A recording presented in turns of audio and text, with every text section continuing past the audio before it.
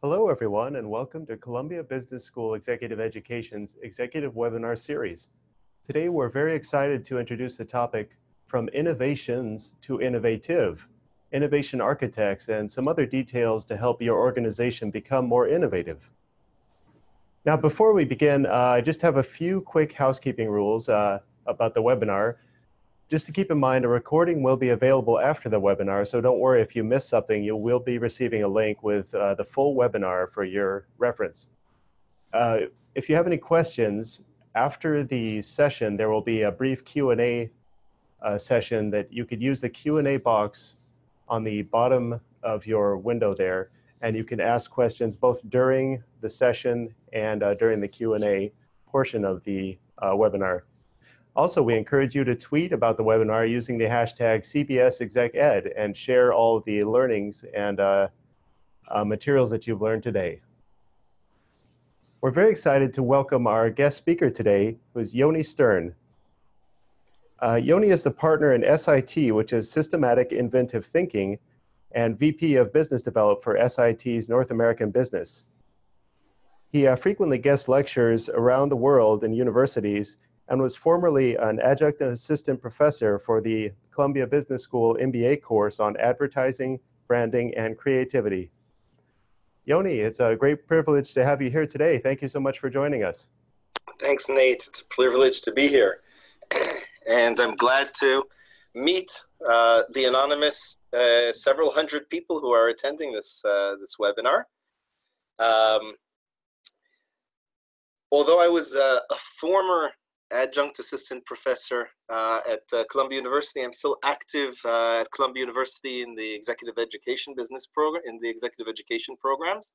Um, I lecture both uh, on the Innovation on Demand online course and the Design Your Innovation Blueprint live uh, session. And um, I would be happy to meet any of you there uh, at either of those places uh, at sometime soon. So today's session, uh, as you saw, is about from innovations to innovative. um, organizations around the world have, in recent years, been creating these uh, these roles called innovation manager, VP innovation, chief innovation officer.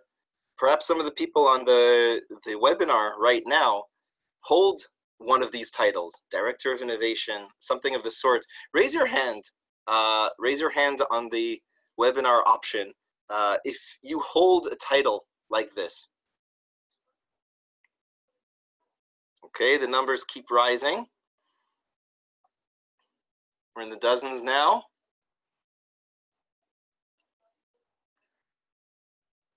Okay, so we have several people here. So you would know better than I would what your role and the definition of your roles are. Uh, I've been around the block a little bit in many organizations, so I have some uh, some knowledge of the differences between the definitions of the roles in different organizations. Uh, if you're not an innovation manager, raise your hand if your company has an innovation manager role. Oh, those numbers are jumping even higher. Okay, so we all know what we're talking about uh, when we talk about innovation managers. Um, for the few who didn't raise their hand, uh, I did a very quick Google search, and the first uh, response that comes up for innovation manager defines the role as follows. An employee whose responsibilities focus on the development of new products, services, or processes. Um, you can blame it on SEO, or you can say that, yes, this is truly uh, a good definition. In my experience, it's the definition in many organizations um, that say that innovation managers are responsible for coming up with new products, services, or processes, uh, which in our language for today's webinar would be innovations. Uh, organizations are really interested in coming out with more and more innovations uh, and therefore, they've identified this necessity or the importance of having an innovation manager to ensure that new innovations are coming out. Now, sometimes those innovations may be through uh, mergers and acquisitions, uh, sometimes through partnerships, collaborations, etc. but they're always focused on the innovation itself. The same website in the second paragraph continues to say that another responsibility of innovation managers is to oversee innovation teams.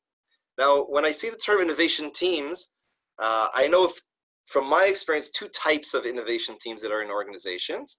One are teams of people who are responsible for facilitating sessions in different business units in order to help the other the businesses within the organization become more innovative. The other definition of, in, of innovation teams that I'm uh, familiar with is that there's a team within the organization who's responsible for innovation. And once again, it's coming out with innovations that they're coming up with from within the organization. Um, the parallel that I like to use with this, uh, these innovation teams, is uh, has anyone, you can raise your hands again, has anyone been uh, worked in an advertising agency or worked closely with an ad advertising agencies as part of your roles? Okay, there, there are many dozens of you there. Um, so you're familiar that in most advertising agencies, there's a department called the creative department. They're the creatives of the organization. what we find when working with ad agencies that one of the biggest obstacles of becoming a creative agency is to have a creative department in an agency. It means that to the exclusion of everyone else in the agency, there are certain people in the organization that are supposed to be creative, and there are others who we have no expectations whatsoever of them really thinking creatively. The strategy people, the digital, they're not they're not supposed to be thinking creatively. That's for the creative department. Everyone else is just supposed to think regular. Um, we find that that's the same case in with innovation teams of the second type within organizations. That once you've defined that you have an innovation team in your organization, it oftentimes prevents other people, the rest of the organization, to believe that they have a responsibility of being innovative. And therefore, if we go one step further, uh, I looked at Wikipedia, and Wikipedia doesn't have innovation manager, but it has innovation management. And I think that here we're coming to a closer definition of how do we transition from an innovations oriented company to an innovative company. Because here we're not talking only about products, services, and processes anymore.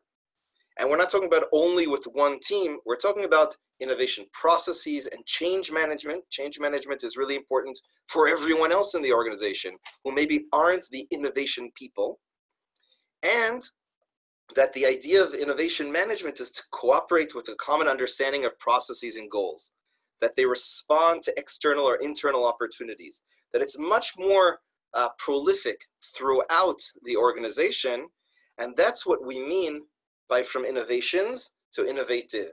How do we make sure that the entire organization develops a culture and practice of innovation, of being more innovative as an organization rather than just having innovations coming out of the organization? One of these more important roles that we found along the way, uh, we've somewhat even partially created it along the way, is what we call the role of the innovation architect. And an innovation architect, when you're looking to create an innovative organization, it means that you have to not only manage the innovations that are in the organization, but you also have to create a plan, a blueprint for how your organization is going to become more innovative. And what we find is that there are five main elements that are the responsibility of this planner, of this mastermind of the program that will make the organization more innovative. The first one is innovation objectives. Second is innovation building blocks. The third is innovation resources. Fourth, an innovation plan. And fifth are the metrics of how to judge whether you're meeting your innovation plan and whether you're getting to your uh, innovative goals as an organization is building the culture and practice. And so these are the five areas of skills and capabilities that an innovation architect needs to have in order to be uh, a, an expert at building this program, this building this plan for the organization. Uh, for the rest of this webinar, I'd like to just drill in a little bit to, to most of these areas um, to give a taste of what are the responsibilities? What are the things uh, that the innovation architect should take into account when building the, the uh, innovation plan for the organization to help it become more innovative? So the first one, when we talk about innovation objectives, the reason why we feel that it's really important to be aware of the innovation objectives is because when you move away from innovations, you have to understand that the purpose of innovation, we believe that innovation is a tool to help an organization become more agile, become more flexible, and to accomplish its, uh, its business strategy. And therefore, our working definition for innovation in this context is thinking and acting differently in a useful way. If you're willing to accept this as a definition of innovation, that something has to happen differently in somebody's mind, there has to be a cognitive change. It has to lead to some action taking place, and it has to be useful in that it's connected to the uh, to the organizational's uh, the organization's strategy. Then it's really important that we take into account the innovation objectives. What is the reason, the main reasons why this organization, why your organization is looking to become more innovative. What's the, how is it going to use innovation as a tool or as a capability in order to accomplish its business uh, objective or its social objective if it's a social oriented organization? So tweaking and defining how innovation is going to be used is really the, the backbone of how this innovation architect is going to build his or her plan, build the blueprint for the organization's uh, innovation program. The second element are innovation building blocks. And from our experience in working with uh, over a thousand organizations in 71 different countries, uh, we found that in order to be a truly innovative organization, the company has to take into account three main areas, and we call these the building blocks. And within each of these building blocks, there are a lot of specifics that have to be taken into account. These building blocks we call the three pillars of innovation. The first one is that any innovation program has to have elements of results. It can't just be a capabilities building uh, program. It has to make sure that built into the program that there are innovative results coming out.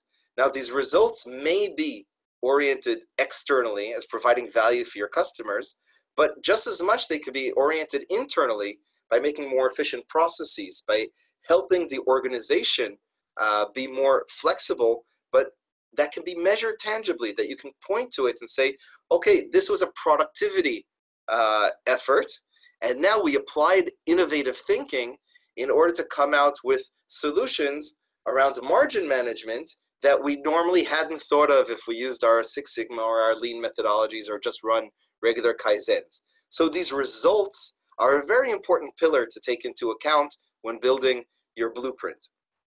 The second building block are skills. If we truly want to become an innovative organization, we have to make sure that different people in the organization have different skill sets. We can't just depend on people's natural creativity or natural ability to change their habits because there are very few people who are naturally creative and almost no people who are who easily change their habits. And so we have to give different people different skills in order to make sure that they can contribute and be an important part of an innovative organization. And the third is structures. Because if we're talking about being able to, to have this in the long term, to be self sustaining for the long term and innovation, really become part of the culture of the organization, we have to manage it. And these structures help create the mechanisms to help the organization define when or when more innovative thinking will be used and when less. When to put different agents innovative innovation agents onto a topic and when not. When is the right time to change business processes versus keep the business processes? How do we track innovations? How do we track the return on innovation? How do we track all these different uh, different elements and measure how innovation is really contributing towards the success of the organization. So these are the three main building blocks that we find an innovation architect has to include within the innovation blueprint, the program that the innovation architect is building for the organization, is designing for the organization. Now, if we're talking about innovation agents, as I just mentioned, um, the next category, the third element to take into a, to account are who are the innovation agents in the organization? And we mentioned two of them so far. One is yes, there's an innovation manager or innovation managers in many organizations, and that's a very important role within the organization to be able to manage the process. We started talking about the innovation architect, and the innovation architect is a person who, before you even start managing the innovation within your organization or managing the culture and practice of innovation within the organization, that's the mastermind who plans it all. So the skills around planning versus managing are not always uh, overlapping within the same individual. Although oftentimes we do see that an innovation architect who builds a program eventually evolves into an innovation manager or one of the other innovation agents. So just to give uh, a taste of what are some of the different responsibilities of innovation agents within organizations, we find that innovation agents are should initiate processes that are defined as needing innovation in order to help them become more valuable or more efficient. They direct innovation efforts, so they help choose and prioritize which uh, which topics should be uh, should be worked on. Uh, what are the resources we want to devote and invest into different efforts? Uh, build the cross-organizational bridges in order to help more collaboration and more sharing of information to break down silos basically within an organization uh, in order to help the entire organization on a much higher level. Deal with resistance. There's always going to be resistance to change and innovation necessarily because you're thinking and acting differently. It will result in change. So they help uh, deal with this resistance. They sometimes own ideas and help to make sure that they happen and to promote ideas that others own in order to help um, also with the communications across the organization. And they serve as an information hub. If you have the agents spread out across the entire organization, then by creating a community between them, which is an important element in creating an innovative organization, by creating an, a community between these different agents, then they can they they become an information hub as to what is happening in other parts of the organization. Just to name a few of the more important innovation agents that we find are very helpful for an organization to become more innovative, uh, we have, as we mentioned, the innovation architect to plan. We have the innovation managers to really manage um, the, uh, the innovation that's happening throughout the organization and to manage the program and the process uh, as it goes on. We have innovation coaches, innovation advocates, we have executives, the top management also has to at least support uh, the program, if not to be heavily involved. A steering steering committee, implementation coaches, and I'll go into, uh, uh, I'll say a few more words about each of them um, in just a minute.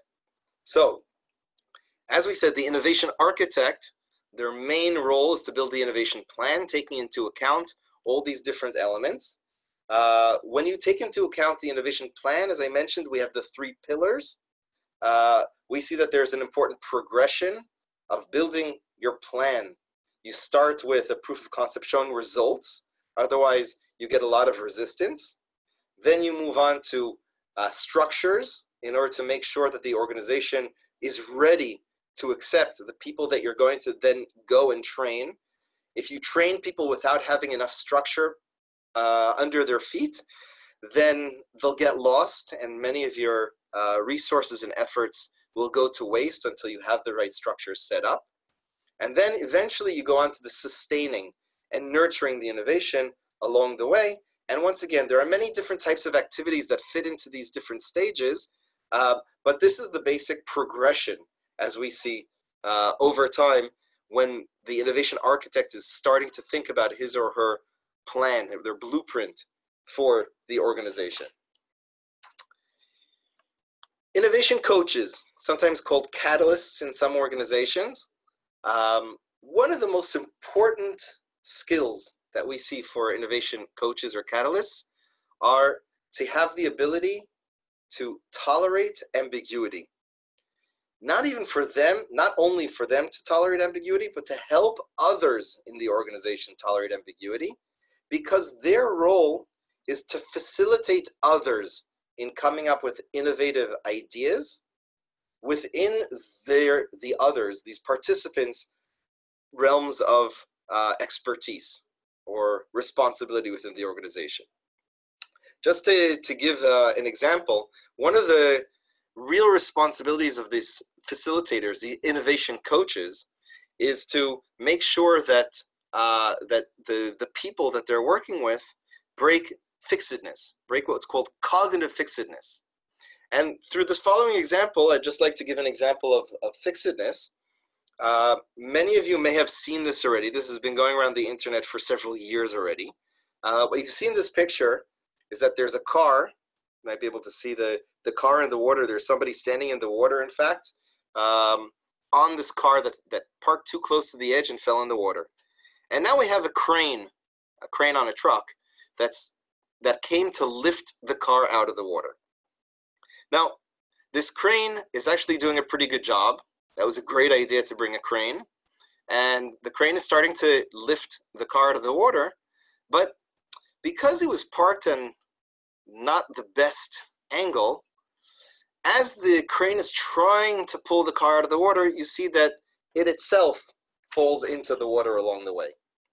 Now, we face a problem here because our crane solution apparently didn't work to pull the car out of the water. What would most people do in that case?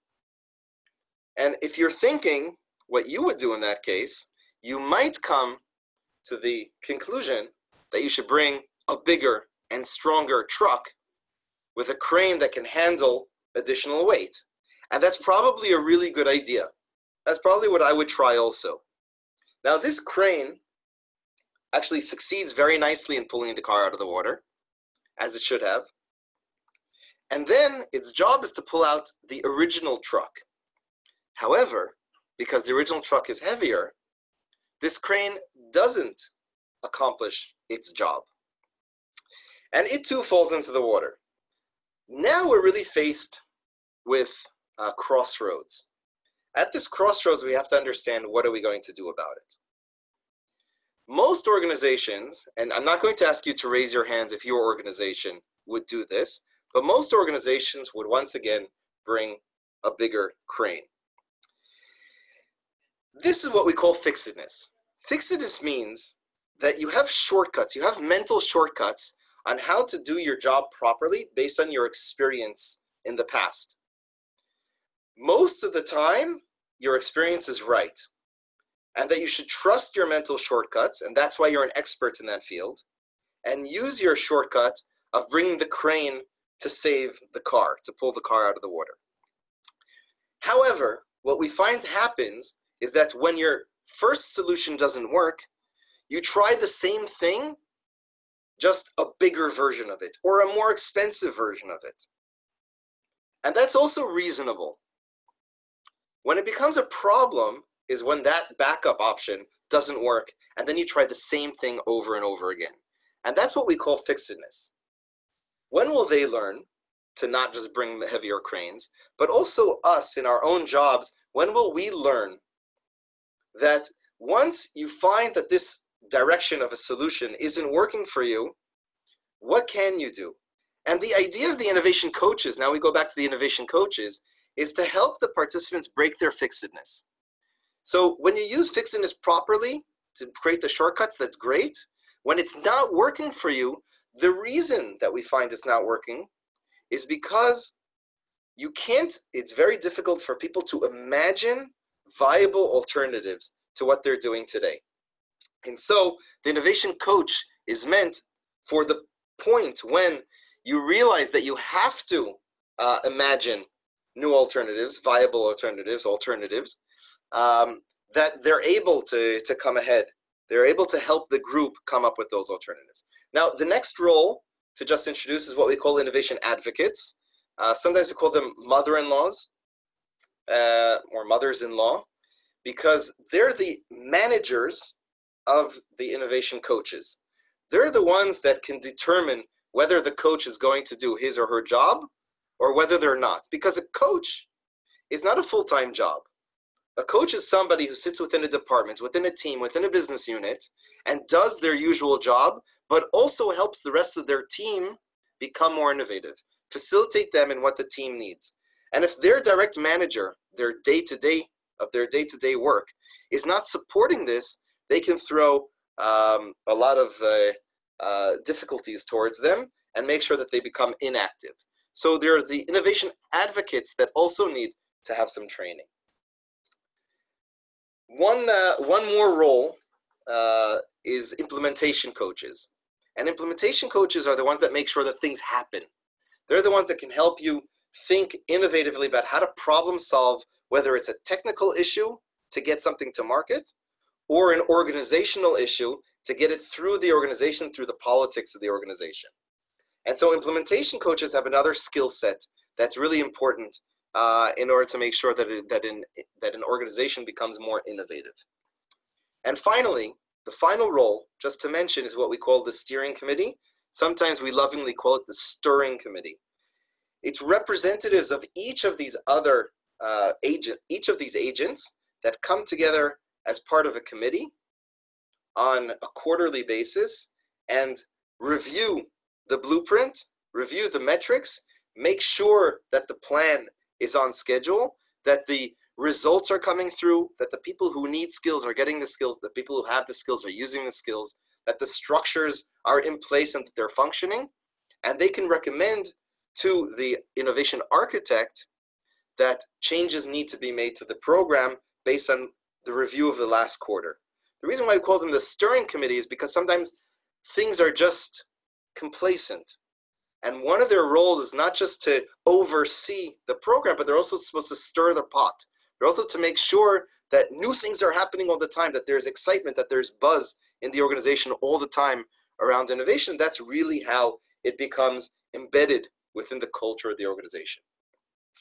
So I'd really be happy to meet several of you, uh, or several hundreds of you, uh, at the uh, Design Your Innovation Blueprint Exec Ed course, uh, where we'll dive deeper into these different agents, more specifically around these five different areas that innovation architects uh, need to gain proficiency in in order to build the innovation blueprint for the organization. And, uh, and hopefully we'll get to meet in, in person soon. I think now we're at the Q&A. Uh, we have uh, about five minutes left for a Q&A. So if anyone has questions, thoughts, comments, uh, please share. Great. Uh, thank you so much, Yoni, for sharing your thoughts on and expertise regarding innovation. I'm sure this has been very helpful for our listeners out there. And as Yoni mentioned, please uh, submit your questions to the, the box on the, the bottom bar of the screen there, Q&A. And it looks like we have a question from Dr. Diane Bradley.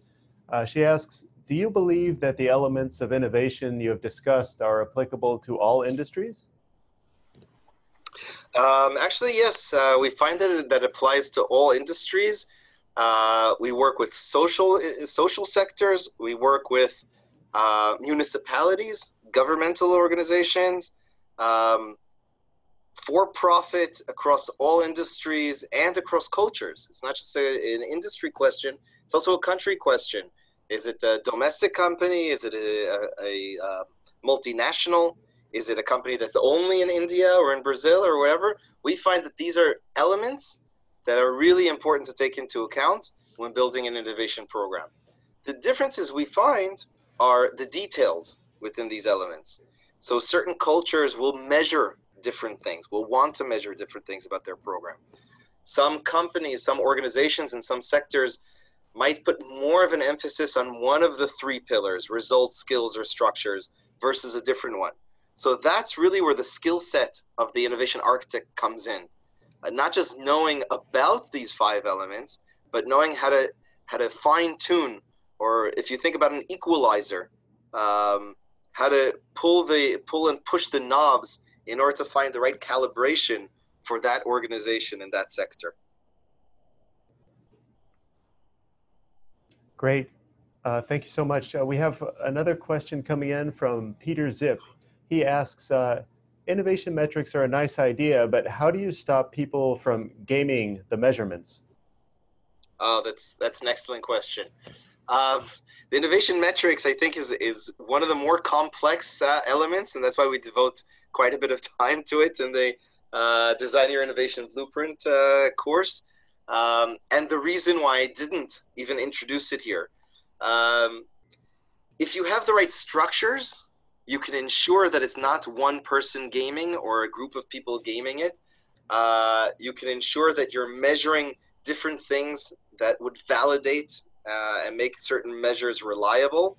Um, so as long as you're measuring a good balance between inputs and outputs um, around uh, things that will lead to innovations versus things that uh, that show that the process is working.